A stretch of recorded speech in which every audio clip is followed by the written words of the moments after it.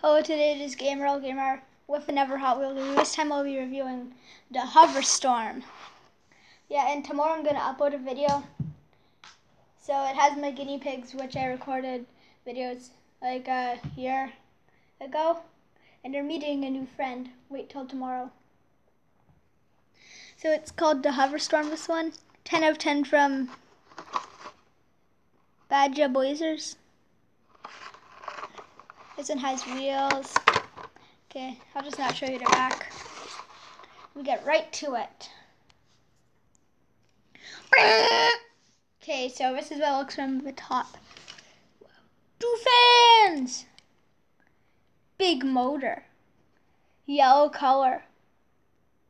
It has a brand name on it. I'm not really sure what it is. It's probably something in the hovercraft business. Very black wheels. I like that. So a real hovercraft, used, costs $32,000. And in my opinion, that's a really good price for a nice vehicle. It can go on water and on land.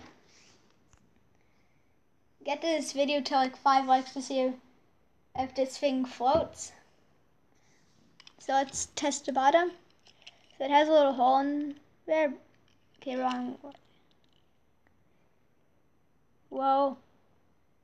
So it says Hoverstorm 2014 Maytel. Made in Malaysia. So it has a hole. Don't really like that, but it was zoom. And in real life, this would be an epic water vehicle. Just going zoom across the water, catching some fish with your fishing rods. In the tropical Amazon.